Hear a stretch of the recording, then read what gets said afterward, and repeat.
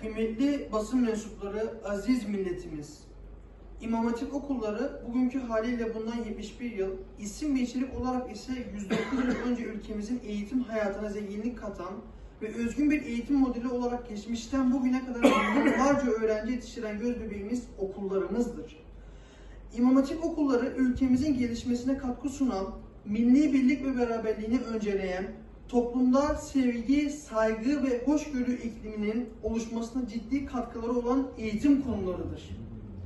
Bu okullar kurulduğu günden itibaren milletimizin yoğun teveccühüne mazhar olmuş, milletine, devletine ve vatanına aşkla hizmet eden milliyetçiler yetiştirmiştir.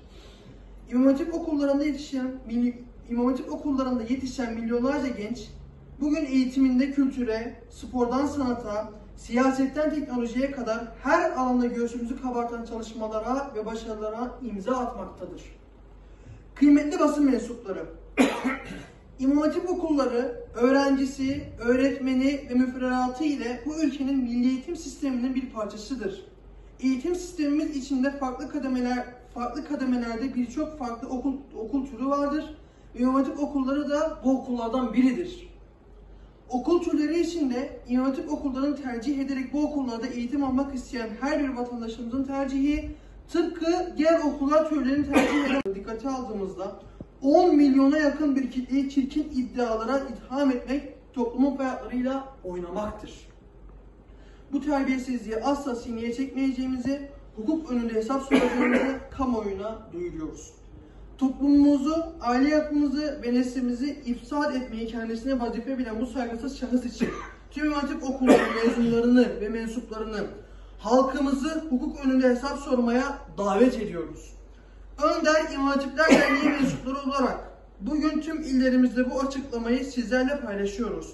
Ardından Cumhuriyet Savcılıklarına söz konusu şahıs hakkında hukuki işlem yap- yapılması için suç duyurusunda bulunacak, şikayetçi olacağız. Kamuoyuna saygıyla duyurulur. Bu husus temel insan hakları ve anayasamız açısından gayet açıktır. İmam okullarının mezunları ve, ve mensupları olarak farklı okul türlerine ve bu okullarda okuyan öğrencilerimize yönelik her türlü ayrıştırıcı yaklaşımı çirkin ve tehlikeli görüyoruz. İmam okulları her türlü siyasi ve ideolojik ta- tartışmaların dışında kalarak başarılarıyla gündem olacaktır.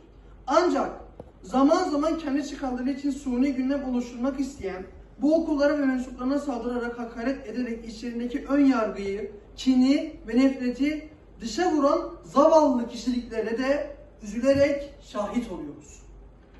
Gülşen isimli bir şahsın konser sırasında İmam Hatip okullarına, bu okullarda okuyan öğrenci ve öğretmenlere yönelik çirkin itham ve iftiralara bulunması, toplumu alenen kin ve düşmanlığa sevk etmektedir. İmam okullarının mensuplarına ve mezunlarına aynı zamanda toplumun tamamına, tamamına saygısızlıktır. Bu çirkin ithamı ve iftirayı söz konusu şahsın kendisine aynen iade ediyoruz.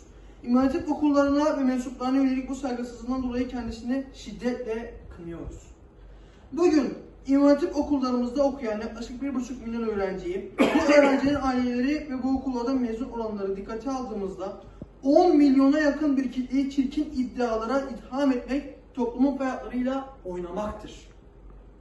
Bu terbiyesizliği asla